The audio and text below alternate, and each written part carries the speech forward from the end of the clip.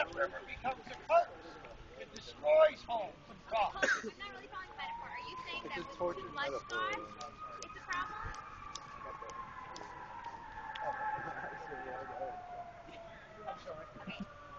Um, so with the metaphor of God being the riverbank, right? Is that what you're Well, the uh, riverbank represents God's law. God's law. Okay. So with too much God's law, you're saying that it's a curse? No. I say the flood, uh, the floods of sin come in and overflow the banks of the river, then it becomes a curse. And we are the river of life. As long as we flow within the banks of the river, our life can be a blessing to others and a blessing to ourselves. But if the floods of sin enter our lives, we overflow the banks of the river. Then our life becomes curse to ourselves and a curse others. You know what? Honestly, I do think you mean well, but I think of people that are here that aren't UCF 2015, guys. Spread the word. in That you're not necessarily putting them in the right direction. That you're kind of giving them a bad name. Like you're, I'm a very strong Christian. I, I categorize myself as a strong Christian, and I don't think you're doing our religion justice by Making I a mockery. by the way you represent everything, you glamorize your stories about having sex. And Memorizing. yes, no, that is what you were doing. You were glamorizing it. kind of glamorizing when you're shouting out the name of the vehicle you're doing it in. You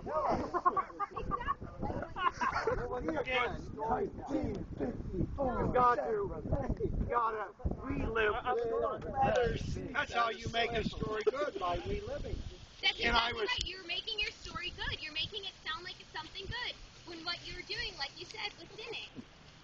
Sir, sir, if you truly repented, you should have shame for that. You shouldn't be talking about it No, as if it's a great making story. it sound like sin. Well, that's because evidently uh, you people love sin. What I represent. See, I'm opposed to sin very clearly out here. I've been speaking against all these things. Now, what doesn't Except look when you're attractive? You don't want someone coming up to you and wrapping you uh, with toilet paper or cursing you and making fun of you all afternoon because you can't handle that. Free country. You want to be, a lot of you Christians, you want to be accepted by the unbelievers. You don't want, you're afraid of offending the unbelievers. I'm not afraid of offending anybody. So when you say you Christians, that's generalizing everybody. Yeah, for real. Not all Ma'am, Christians are like you. First of all, when you make, it is a generalization. And when you're generalizing, you're not talking about everybody. A generalization, by definition, implies exception. Right, but you said you Christians. Wow. So I was saying, I was saying at the time, yeah, you Christians around here, and especially you. Especially me. Yeah, yeah. I'm sorry. Can you say repeat that one more time? Especially I was. Especially you. Especially I was. Hooray, ignoring the question. Or otherwise, you would understand. You've been out here long enough. You know, I've been preaching against sin all afternoon. definition But when I was to a sinner, sin is attractive. What's your No question about it. What's your definition of sin? Uh, You know stuff. ma- sin is attractive. The devil will make it attractive. You know, uh, sin is like uh, sin is like a piece of chocolate candy that's filled Mm, delicious with chocolate. human species. Uh, feces. you know, uh, it looks good on the outside, but you take a bite out of it, it's not going to taste so good. It's made out of beef. So the consequence, it'll make you sick. Why are we all back? So you Oh, know wait, nothing doing about food. Oh my God! Right, Nothing that's about telling the you. You don't know anything I say about you know. me. Well, you. Every time you open up your mouth and tell me something about what you think. Every time you open your mouth, you're you doing make. to everybody? You've been yelling at because everybody. everybody here is so mouthy like you. You're doing the same thing. You're yelling at us. Give a man a stick and he thinks he's Yelling at fucking. Isn't that being a Like I hypocrite? said at the end of the story, I was the ruination. If you can't take the heat, get out of our kitchen. Get out. Get out. I'm here all week, buddy.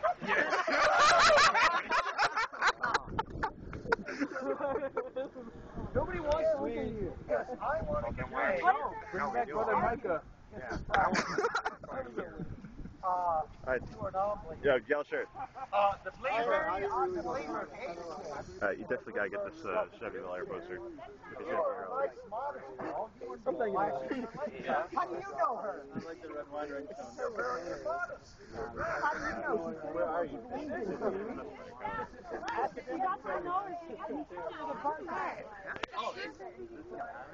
No, he's saying like everybody's here is some Facebook center. But he was telling us a story earlier about how he used to go to almost like the like Amazon with his that star, and now he's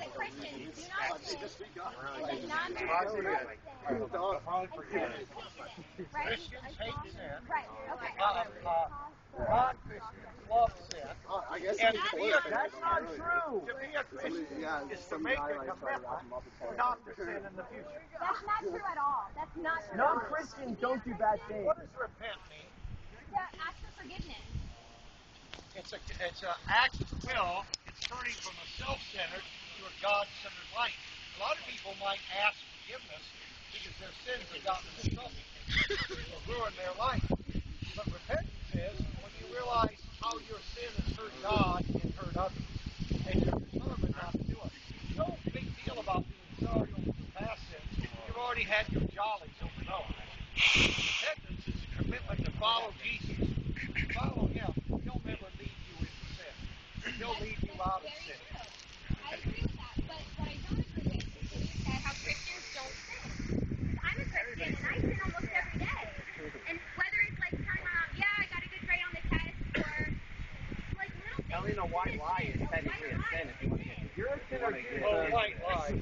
Yes, it is. Sin is sin. A lie Okay, is let me give I, you I, yeah. Shut up. You're false witness. That's lying. Everybody. Lying equals sin. You lose. Sure. guy's a joke. I don't know if Yeah. Uh, this guy's so Jews about doing so. It's going YouTube, bro.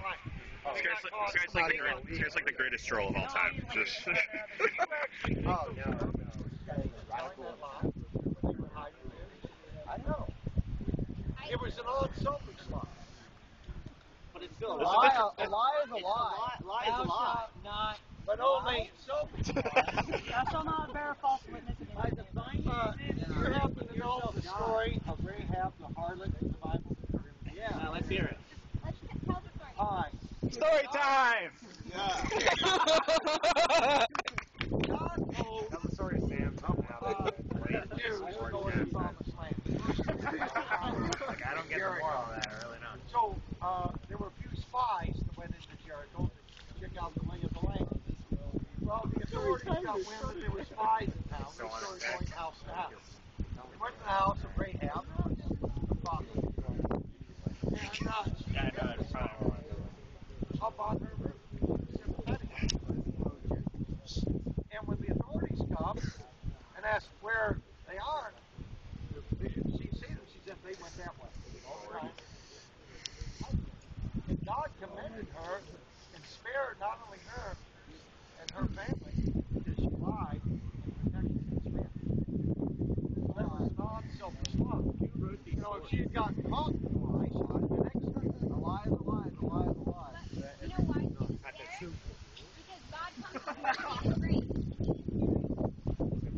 Because she's, she's recorded It's by grace we are saved. you know, uh, in Hebrews 11, uh, they list the way people who face breakdown. I was just you know, like, you know what? We should um, get a, a YouTube channel. Story time with Brother Jeff. Yeah. Subscribe to my channel, UCF 2015. Spread the word. Alright. sometimes you might be, you know, if, uh, say uh, you, uh, uh, someone breaks into your room maybe your roommate is hiding under the bed and he's a rapist, he has someone else in the room, you don't have to say, oh, well, you know, my roommate's hiding. Uh, no, you would say, I'm the only one, perhaps. Uh, I'd be like, I gotta go. Sorry, I would not say that. I'd be leaving. of God sending a lion spirit to deceive a wicked king. So it all has to do with motive. But you don't have to lie. You know, if you believe a white lie is a sin, then don't do it. Uh, but uh,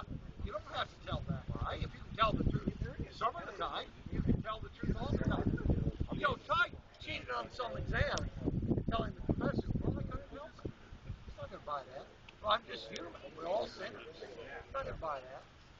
You know, what if Coach Sandusky would say, hey, well, you know, we're all sinners. You know, yeah, I like to uh, sodomize boys now and then, but so what? We're just human. So, no, a human avoids sin some of the time you can avoid sin all the time. Jesus told, oh, you don't believe we have a free will? Of course we have a free Well, will, we but I have a also free believe that we're will. human. If you have a We're free not will, perfect. you're able to avoid sin. If you can't help but avoid sin, then you don't have a free will. Your mind, you- not just what you, not just born what with you free think will. about your person. You're born into a You're born with free will. You're not born sinful. We are born into sin, is what it says in the Bible. What does that mean? You're born into a sinful world, you're not born sinful. You can't, but if you're in a sinful world, we're gonna commit sin. You're not born with a sinful nature, you're born, Born with with a the mark of the human original hold sin. on. So are you saying This because doctrine of original sin that a lot of you have been taught in the church, let's first of all, it's not, it's not biblical. Biblical, nor is it Question. Uh, what uh, denomination of uh, Christian are you exactly, sir?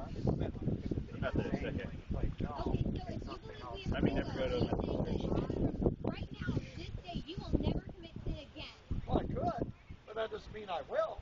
You're committing sin I'm right now by not being a judgmental a-hole. I'm saying, I'm also, I'm also able to. I could end up turning my back on God and then walking out.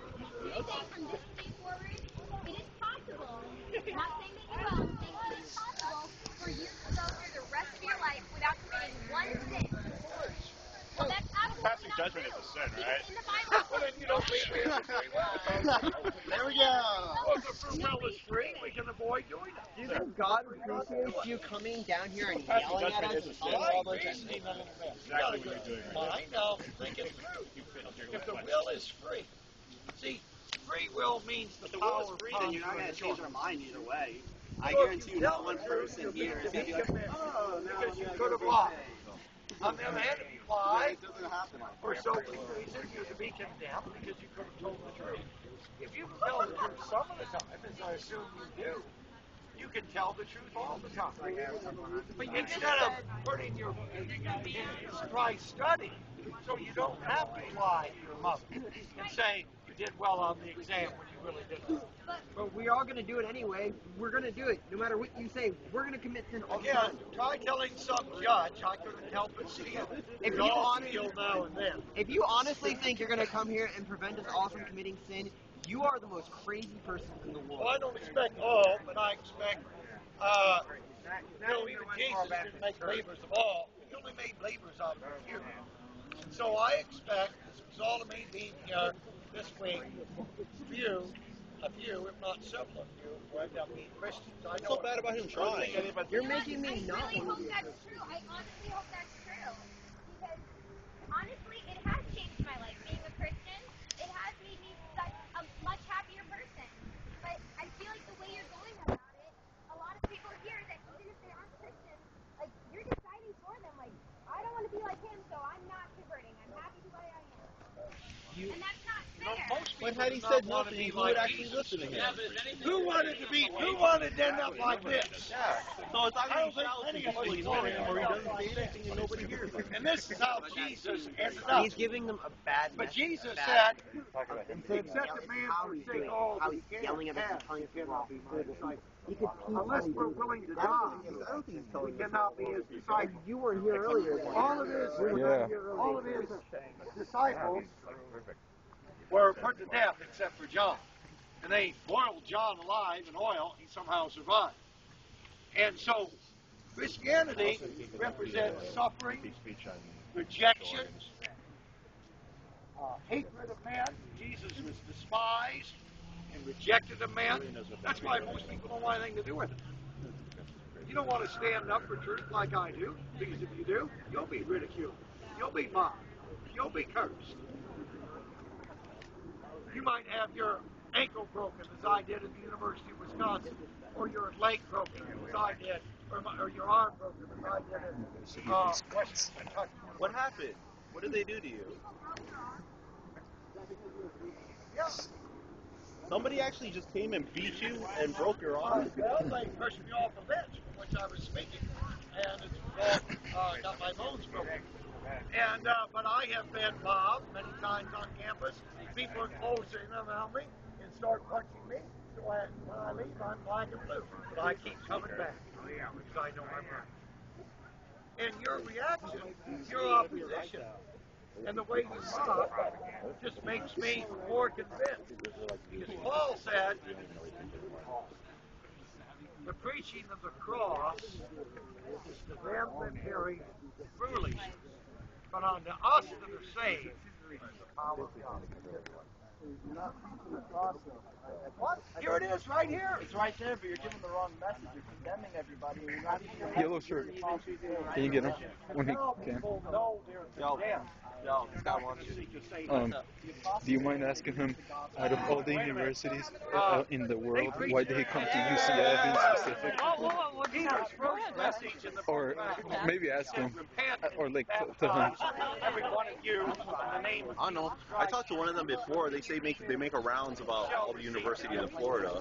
Because 21, Paul preached repentance Oh, okay. a lot of times they get sponsored by a church to go to a random universities. But they have a calling for people that came are up in schools. "Oh, I love you, Or something like Jesus that. loves you, and Oh. He has the most wonderful plan for your life." And then they got out their guitar and sang, "My, oh, my Lord." Then they all had s'mores. You think that's how they evangelized? No, they preached, and they preached against sin, and they angered people.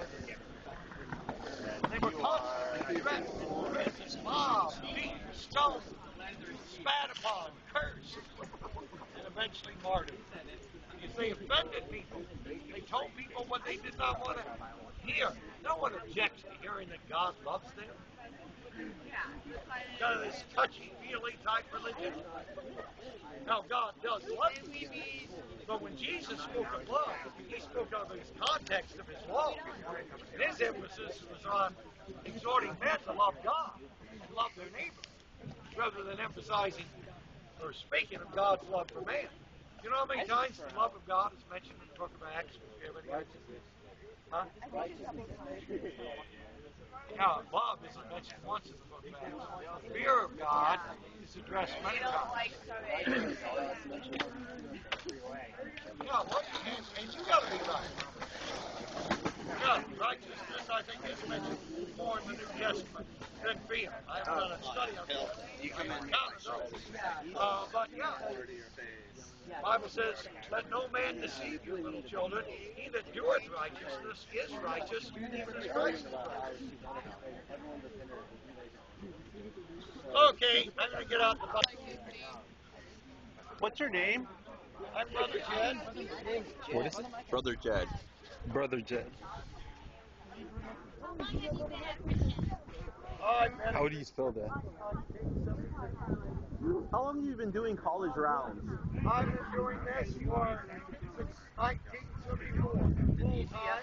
I'm on some campus somewhere every single day, five hours a day, five days a week. I'm a preaching. Are you sponsored by a church or some kind of organization? I have various churches that me. not every one. Okay. And also individuals.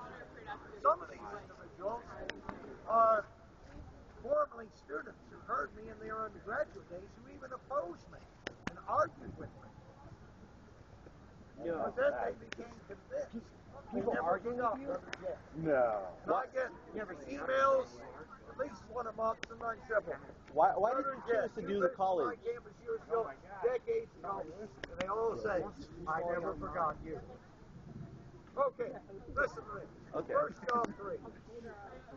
I'm asking Whosoever you. committeth sin breaks also the law. You don't even have an actual Bible?